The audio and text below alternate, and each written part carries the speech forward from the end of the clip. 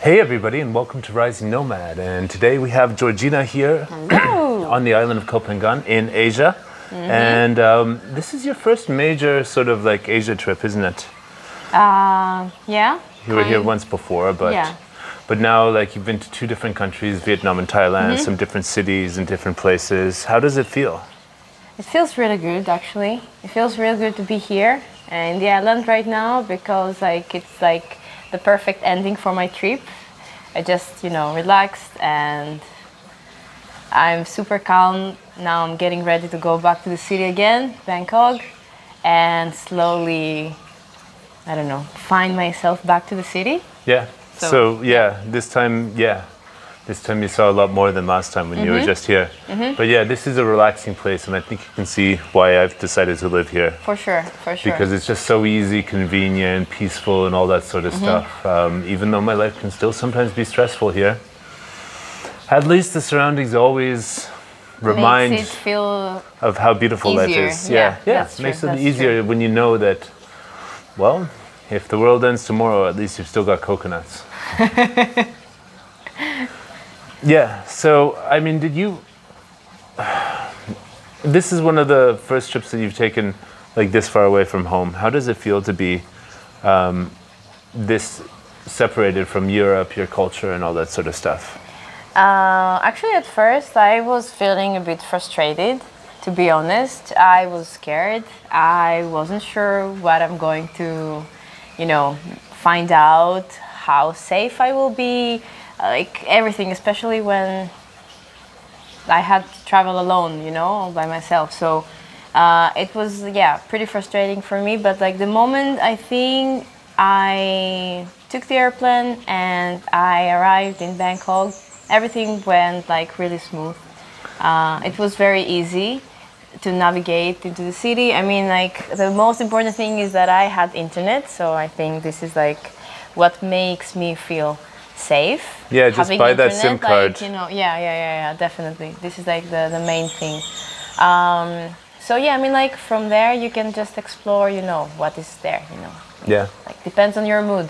And the hardest part is getting to the airport. All like a lot of the worry that you have about the whole thing For sure. just like disappears once you are actually waiting for that plane.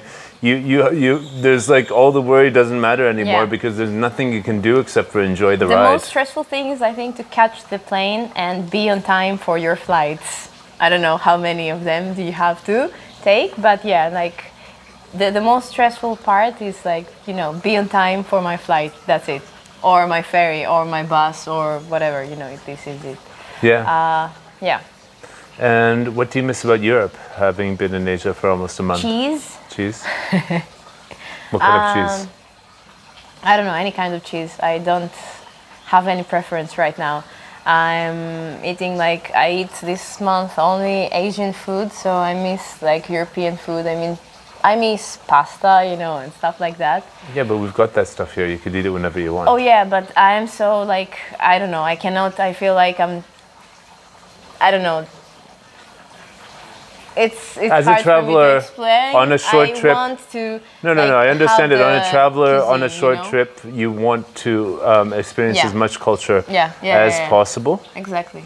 and um, yeah, basically like do the local thing as much as Mm-hmm, possible. Whereas me, as a long-term expat living here, I want to achieve a great balance of the stuff that's worked for me Yeah. all around the world. Like um, you know, sometimes I want to have Mexican food. Sometimes I want to have um, you know pasta, pizza, all that sort of stuff. But my default is um, you know chicken salad um, because that's what I found for me and my body makes me feel the healthiest. Um, yeah. Yeah. So yeah, I mean, like for me, it was like I, I don't, I didn't want to waste not even one day to have like pizza or, although I had once, you know, but still, you know, for me, it's like, you know, just follow their culture, follow their cuisine, eat as much as you can.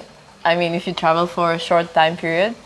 so what's the most exotic thing you tried so far? Um, couple of things.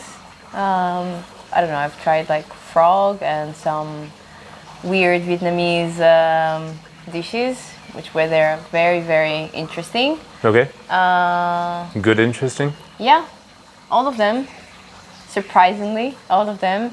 Vietnamese food was amazing. Yeah. Uh, yeah. So But Vietnamese versus Thai food. I'm not sure.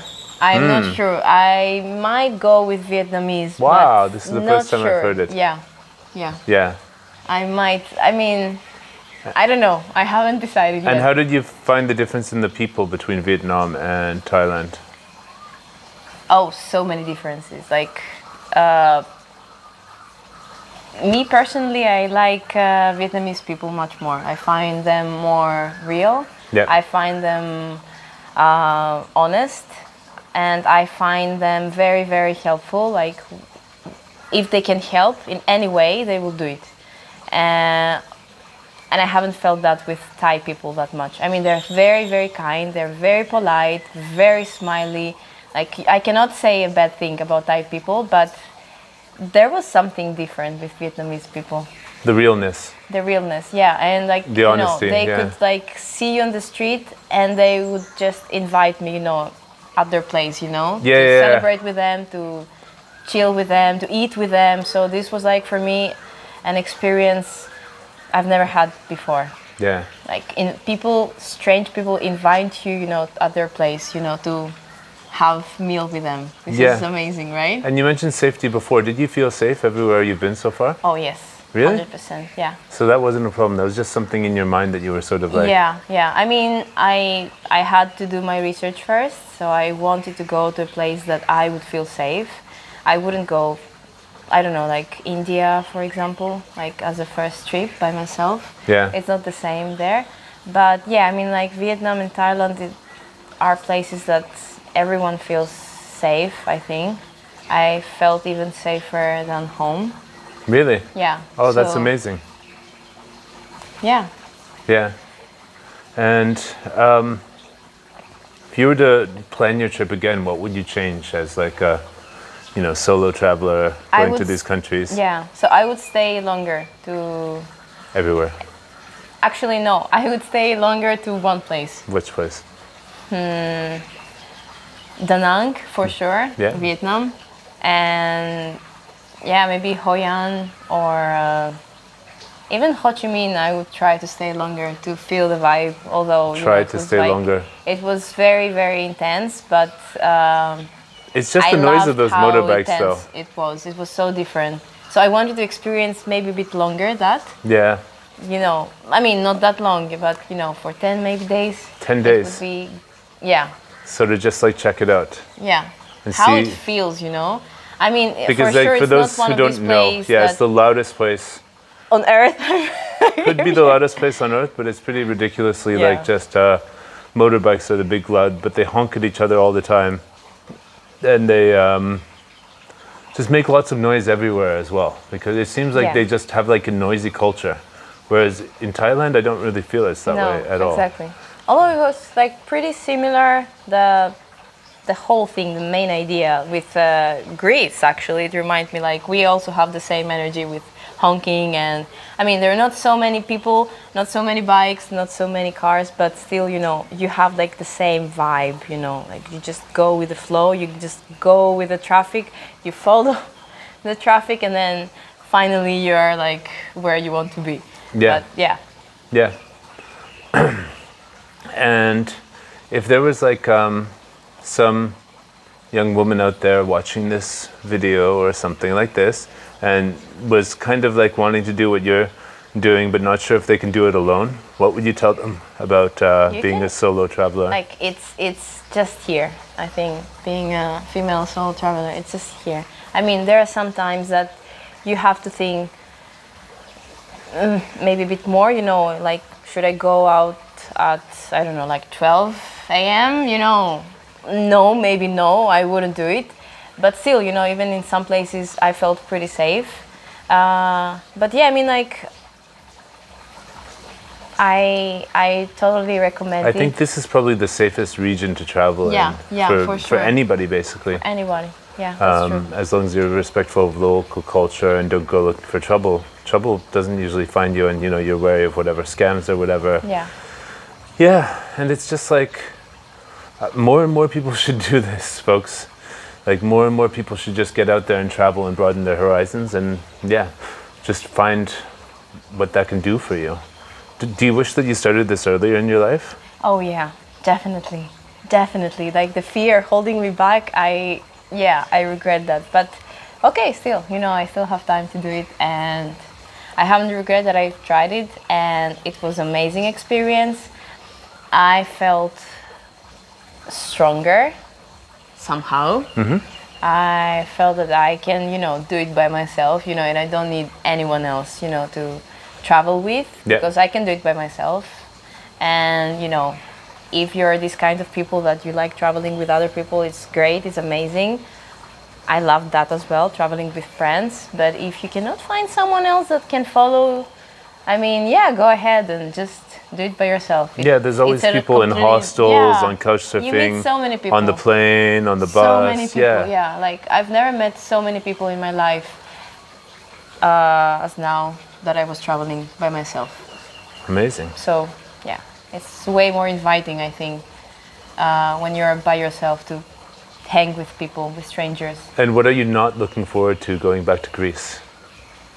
Oh, it's February. It's cold.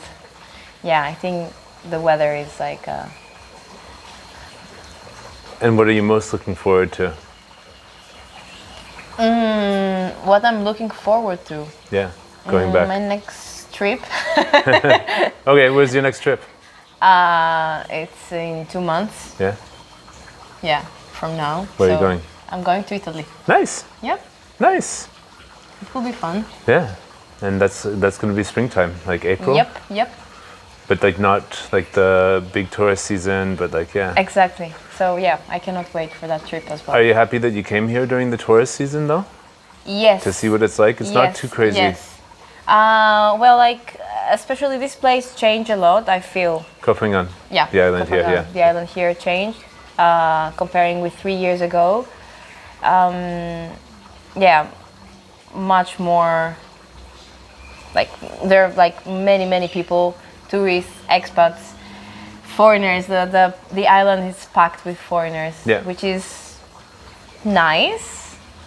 But I think yeah, it's great. Yeah, I would like to explore something. else. Like next time, I think I would like to explore something more local. Local. Yeah, Yeah. yeah. Like some random Thai town that's Yeah, like special to the Thai people, but off the tourists, sort of. Mhm. I'm curious to see like how the prices would change Yeah. because here like they're expats, they're foreigners, so we're having a, we have I think different budget, right? Yeah. Comparing with other cities. So yeah, I would like to explore that and maybe a bit more the real Thai culture. Yeah. So we'll see. Like till next year. Okay. Great. Well, I'm glad you enjoyed your trip. I'm really happy about this trip. Yeah. Yeah. And we'll It's see you back around uh, here soon. Yeah, bucket list check. You know. All right, great. Well, thanks a lot. Um, if you like content like this, uh, you can subscribe to our channel, Rising Nomad, and we'll catch you later.